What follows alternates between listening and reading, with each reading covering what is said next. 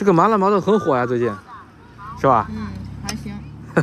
其实这个我们在老一辈的那时候老早就做这个。哦，你们这还是祖传的，哦，老一辈就做这个，这这有百年历史了，应该是不止了。做了一百多年了。你看我那个伯伯，他八十岁，他退休之后做，现在都已经八十多了，哦他做三十多年了。再往上一辈人，那不就早了吗？哇、然后后来我就说你传给我吧，我做。还是祖传手艺啊。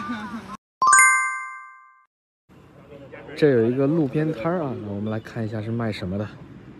麻辣毛蛋，麻辣。麻辣毛蛋，多少钱一个？五块钱六个，这五块钱六个。那拉回来都辣姐都有点辣，不拉的话你提前给我说，我给你买。生意还挺好。我我要五五块钱的吧。毛蛋是吧？呃，除了毛蛋还有什么蛋？钢花蛋，钢花蛋是什么蛋？钢花蛋是四成非成的那种，是这种毛少一点。毛少一点，嗯，这种是五块钱四个，哦还不一样。嗯，价格不一样。实蛋的贵一点是吧？嗯，实蛋贵一点，毛蛋便宜一点啊。毛蛋啊，对，毛蛋便宜一点。毛蛋便宜一点。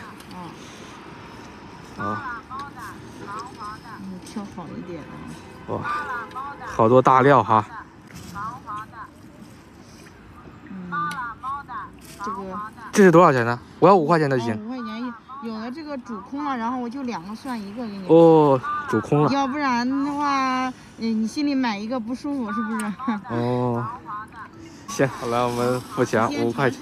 好嘞，看，生意还很好的。嗯。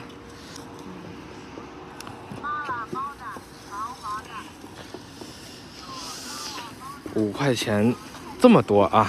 来，我们找个地方，他这个生意还是很好的啊。小姐姐在忙，然后讲说是做了一百多年历史的，啊，说是老一辈就做这个啊。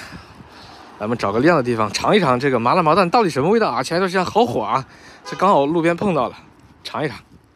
五块钱，一二三四五六七八个啊！啊，那个小姐姐也讲了，有些她可能是，嗯，煮烂掉了，然后怕就是多给了一点，五块钱八个，还相当多啊。嗯，满是大料的味道。来，我们尝一尝这个传说中的超火的麻辣毛蛋到底什么味道啊？来，我们看一下啊，它这个鸡蛋还是麻辣毛蛋啊，两种还不一样。你看这个颜色，这是大料的啊。你看这个是正常的鸡蛋颜色，这个是白色啊，两种颜色还不一样哦。哇，这个应该就不是毛蛋啊，我就感觉这个跟鸡蛋一样啊，没什么区别，也没有毛啊。这个，这个是实蛋吗？我掰一下看一下啊。哦，它这个蛋黄跟蛋清真的是一体了啊。我尝一口这个。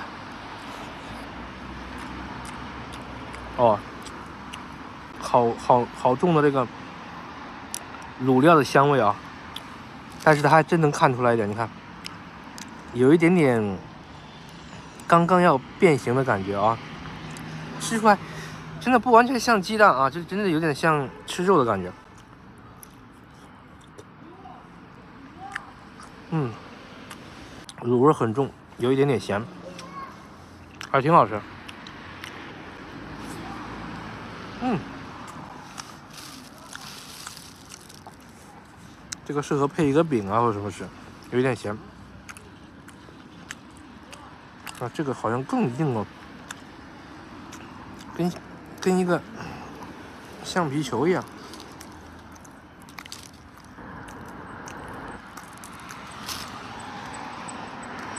哇，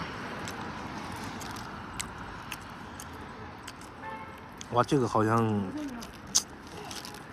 成型更高一点啊、啊，里面好多的香辛料，孜然、八角，看一下这个啊。能看出来吗？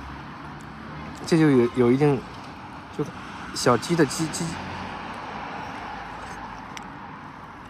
毛都已经出来了啊长出来了。看这个明显就是原来的蛋黄然后这个是蛋清。看。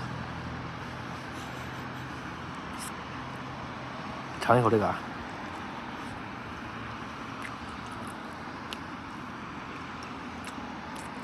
嗯，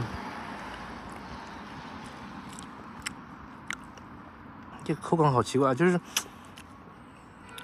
比吃鸡蛋要香很多，吃起来感觉。哇，你看这个已经成型了哦，有点成型了啊。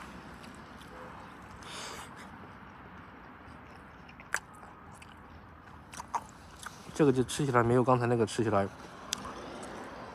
好吃，为什么它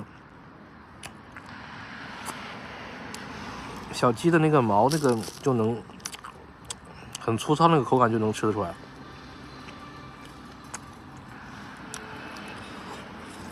香还是很香的，嗯，第一种我还是更能接受一点，第二种的话就。确实有点成型了啊！麻辣毛蛋，你们吃过吗？五块钱八个，你们觉得怎么样？